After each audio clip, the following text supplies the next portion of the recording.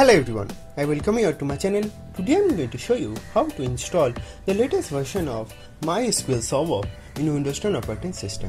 And then we will also install MySQL Workbench and then MySQL Shell. So let's begin. Now to install MySQL, you need to first simply go to your favorite browser and in here just simply type MySQL download then enter and then you'll be seeing uh, the first one is add so just simply scroll down a bit and then you'll be seeing this www.mysql.com slash downloads. So just simply click on mysql download. I'll be also putting the link in the description so you don't need to worry about the link and all. Right. So now if you just simply scroll down a bit you'll be getting this MySQL community GPL downloads. So just simply click on that and this will you going to redirect you to this MySQL community downloads section. In here you'll be getting a link called MySQL installer for Windows. So just simply click on that and you will be landed over this MySQL installer 8.0.6 page. So if you just simply scroll down a bit you'll be getting basically two options.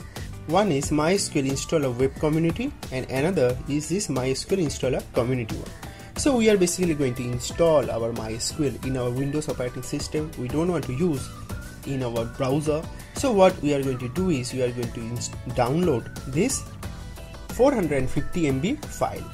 So just simply click on download to download our file and this will you going to say that uh, whether we like to log in or not but for the time being I don't want to log in so just you know simply click on no thanks just start my download and this will you know going to start downloading your MySQL.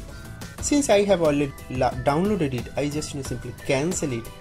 And if I simply minimize my browser and when I just go to my download directory you can clearly see this MySQL installer 8.0.26 has been you know rightly downloaded over here. So just simply double click on it to start installing our MySQL server and now it's telling that it's uh, preparing to install so just simply minimize our download directory. You need to just simply click on yes to provide administrative privileges and this will you know going to start gathering all required information for installing our MySQL. Then you need to again simply click on yes to provide administrative privileges for MySQL installer launcher. And then it will you know show you MySQL installer 1.4 so your installation wizard has been you know rightly open and as I have shared earlier we are going to you know do custom installation so that we can only install these three important feature of MySQL. This MySQL server workbench and shell. Uh, we don't need other components so we are going to you know simply click on custom and then just simply click on next. And in here you need to just you know simply click on this drop down then again simply click on this drop down and then we are going to you know simply simply click on this MySQL server 8.2 so just you know again simply click on this drop down and then just simply click on this MySQL server 8.2.6 so now just simply click on this arrow so that you know this gets under this product to be installed. Similarly you need to just again simply click on this application and then we are going to install MySQL workbench right? So just you know simply click on that and then this MySQL Workbench 8.2.26 so just you know simply click on that and then just simply click on this arrow. So that this get under this product to be installed. Similarly we did also install MySQL shell. So just you know simply click on that drop down and then again select this MySQL shell and then simply click on this arrow. So that these three components from MySQL that is this MySQL server, MySQL workbench and MySQL shell gets under this product to be installed. And then just you know simply do this much and then simply click on next. So now it's telling that these three components are ready to be installed. So you just simply click on execute to start installing our MySQL server workbench and shell. It will you know take a couple of minutes. As you can see the, it has you know right progress and it will you know take some time to install. So what I will be doing is I'll be coming back after installing these three components. Yeah. So we'll come back. And now as you can see our MySQL server workbench and shell has been you know rightly installed. So just you know simply click on next. And now it's telling that it's ready to be configured to MySQL server. So again simply click on next. And now under this type and networking so we are basically going to use this TCP IP protocol as a connectivity and then we are going to use this port number 3306 and we are going to use X protocol port 33060 so what we are going to do is we are going to simply keep this all default and then just simply click on next. And now it's telling that whether we'd like to use strong password encryption for authentication. So this is a recommended one so I'll be also recommending you to, to do the same and just you know simply click on next in here you need to give your uh, password that is basically your root password. So just you know simply give a strong root password. So let us first give a strong root password.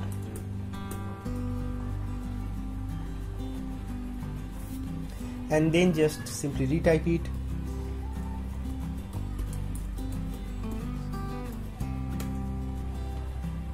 and now as you can see the password strength is strong. So uh, we have you know rightly set our password.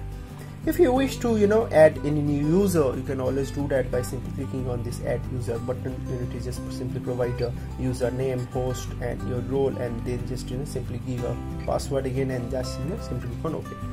But i'm going to you know simply create a root password and a root user and then just you know simply click on next so this windows service name is mysql 80 and we are going to also check this start mysql server at the system startup right? And then just you know simply click on next. And now these are all the configuration steps that you know going to be happen now. So just you know, simply click on execute so that we just you know going to start executing our writing configuration file then updating windows firewall rules then you know finally adjusting our windows service and all and similarly we would also like to initialize our database.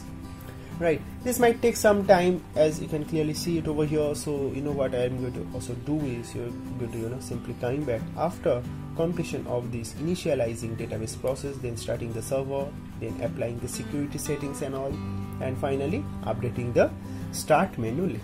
So I'm going to coming back after applying all those four configurations. Yeah so welcome back. And now as you can see our all configuration steps has been rightly done. So just you know simply click on finish. So now it's saying that this you know configuration is completed. So just you know simply click on next. And now as you can see our installation has been rightly completed. But now you need to you know do one very important step. That is you need to set our environment path. So for that just you know, simply go to our c directory then program files then mysql so just simply go into that folder and you can clearly see we have these three folders installed. That is this mysql server shell and workbench. So just you know simply go inside this mysql server then go inside this bin folder. And now just you know simply click on this address bar and then right click on it and copy. Right so you have rightly copied this path. Now just you know, simply click on the search icon and in here just simply type environ and now you will be seeing this edit the system environment variables. So just simply click on that. And then just simply click on environment variables.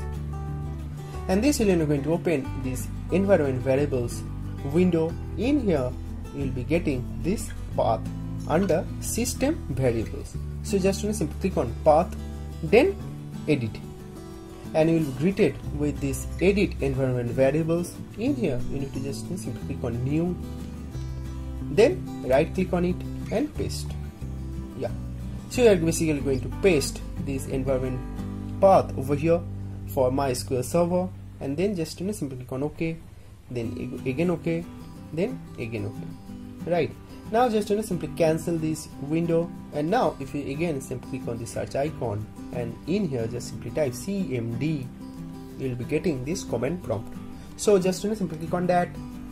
And now in here if you just simply type mysql space dash u space root then p sorry dash p. So this dash u is basically a flag for users and dash p is basically a flag for password right? And root is basically our user. So you know just simply type this mysql dash u root dash p then simply click on enter. And in here you need to write that password. Remember that password that we have set while installing our mysql. And now as you can see our mysql has been rightly installed. This version is 8.0.26 so our mysql has also been you know open mysql shell. So in here show database. Yeah, show databases basically and then just you know simply click on enter you can see that we have the system database then performance schema database mysql database and information schema database. Right so we have these you know four databases that are you know coming at by default. So here if you want to you know create a new database you need to you know just simply type create database and then you need to give a database name. So let's give a database name as uh, geeky script db and you can see our query has been you know, rightly executed and one row has been affected. And now if we just simply type show data basis again then you know just simply click on enter. You can see this geeky script db has been you know rightly created over here. Right. So in this way you can easily install MySQL server then MySQL shell then MySQL root and you can you know use MySQL using this MySQL shell. Now I'm going to you know show you this MySQL workbench. So for that just you know, simply uh, come over here and then just simply check this MySQL workbench after startup then MySQL shell after startup and then just simply click on finish and this will you know going to start your MySQL shell first. So this is basically the MySQL shell. I have you know already showed you this thing. Now I'm going to you know demonstrate this MySQL workbench. So now just to simply maximize it. This is basically the interface of our mysql workbench and we have created a uh, root user remember? Click on that and here you need to give that password. Remember that, password that we are uh, giving every time? So you need to give that same password over here so just you know simply give that password then simply check this save password in the vault and then just and then just simply click on ok. And then you'll be seeing that you have you know rightly authenticated and you are basically inside our MySQL server. So in here remember we have created a database called geeky script database. So you know if you just simply type use geeky script db then just you know, simply end with a semicolon and just you know simply click on this execute button. You can see we are currently using this geeky script db right? In here if you just you know simply want to create a new table so for that you need to just you know, simply type create table to basically create a new table. Here let's give a table name as persons. So we are giving the table name as a persons. And then you need to just you know simply define your table column or you can say table schema. So you know just simply type person id as a you know column name and you are giving the data type as int and then you are you know giving a next column name that is name field right? You can give a full name. So just simply type full name then just you know simply give the data type as a varchar 255 and then you can see we have you know rightly entered our table name persons. So just you know simply select this and click on this run button. And you will be seeing your table has been you know rightly created with these columns. In here if you want to you know simply insert a column over here. So just you simply type insert into persons. So insert into persons. And then you need to you know set your column name over here. So your column name is the person's id and then full name so you know just simply type that much and then just you know type values. So we are now going to set our values for our table. So our values should be you know first an uh, id type. So let's give a id as 1001 and then let's give a name as you know geeky script so we have you know rightly uh, set our column name just you know simply select this and then just simply click on this run button. And you can see we have you know rightly executed these operations. And now if you just you know simply type select star from select star from persons. And you know just simply select this and execute this command. You can see this person id then full name has been you know, rightly shown in our console so we have you know rightly inserted this column called 1001 as a person id and geeky script as a full name so in this way you can easily work in our MySQL workbench. I have rightly shown you how to install MySQL server, then MySQL workbench and then MySQL shell. So I have also shown you how to use MySQL shell and MySQL workbench. This workbench is basically a, gives a GUI interface or you can say graphical user interface. So using which you can easily execute all command. You can do the same in our shell also but this give you a, a, you know good looking UI so in here you can easily execute this command and you will be able to see the same thing. Right. So in this way install MySQL server in a Windows 10 operating system. So that's basically all about this video